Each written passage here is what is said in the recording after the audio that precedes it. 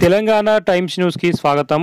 రామ్ గోపాల్పేట్ డివిజన్లోని నల్లగుట్ట బస్తీకి ఆనుకుని ఉన్న నాలాను మురికి కాలువను త్వరగా మరమ్మతులు చేయాలని బహుజన సమాజ్ పార్టీ జిల్లా అధ్యక్షులు రుద్రవరం సునీల్ కోరారు.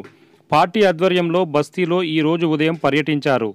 హైదరాబాద్లో అకాల వర్షాల వల్ల బస్తీలన్నీ జలమయమయ్యాయని ఆ నీళ్ళన్నీ నాలాకు చేరి దాంట్లో ఉన్న నీళ్ళు ముందుకు వెళ్ళకుండా ఎక్కువగా నిండి ఉండడంతో ఆ నీళ్ళు బస్తీలోకి ప్రవేశిస్తున్నాయని బస్తీలోకి రావడం వల్ల దుర్వాసన వస్తుందని మరియు సీజనల్ వ్యాధులు ప్రబలిపోతున్నాయని ఇప్పటికైనా మున్సిపల్ శాఖ మంత్రి కేటీఆర్ అధికారులు స్పందించి తక్షణమే చర్యలు చేపట్టాలని డిమాండ్ చేశారు.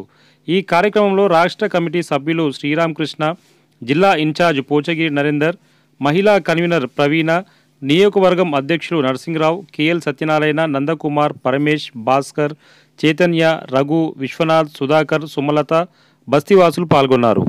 ఆ యొక్క ఇబ్బంది కాకుండా మరి పనులని కూడా ఈ జిహెచ్ఎంసీ పట్ల జరిగేది. అట్లా కాకుండా కేవలం వర్షాలు పడేప్పుడు మాత్రమే ఈ డెవలప్మెంట్ అని చెప్పేసి ఏదైతే నాలలు కావచ్చు మోరీలు కావచ్చు సీసీ రోడ్లు కావచ్చు వాటి అన్నింటి కూడా మరి అభివృద్ధి పేరు మీద అమలు చేస్తామని కాబట్టి అట్లా కాకుండా ఆ సీజన్ రాకంటే ముందే ఆ వానాకాలం రాకంటే ముందే ఆ వర్షాకాలం రాకంటే ముందే ఒక త్రీ టు సిక్స్ మంత్స్ వరకు టెండర్లు మించి టెండర్ల ట్రాన్స్ఫర్ చేసి మరి ఆ పనులను త్వరగా పూర్తి చేసి వర్షాలు రాకంటే ముందే హైదరాబాద్ హైదరాబాద్ నగరాన్ని సుందరీకరించాల్సిన కేటీఆర్ గారు కేవలం డబ్బుల కోసం ఒక బడ్జెట్ కోసం మరి కేవలం ఐటీ డిపార్ట్మెంట్ ఒక్కటే ఐటీ శాఖను ఒక్కటే పట్టించుకున్న పరిస్థితి కేటీఆర్ గారు. ఎందుకంటే ఇది నిండిన తర్వాత దీనివల్ల చాలామంది సీజనల్ వ్యాధులతోటి జ్వరాలతోటి ఫీవర్స్ తోటి చాలామంది ఇబ్బందులు పడుతున్నారు కనుక మరి దీన్ని దయచేసి అందరూ దృష్టిలో పెట్టుకొని మున్సిపల్ శాఖ ఈ ఈ జోనల్ డిప్యూటీ కమిషనర్ మరి కమిషనర్ కావచ్చు అదేవిధంగా డీఈ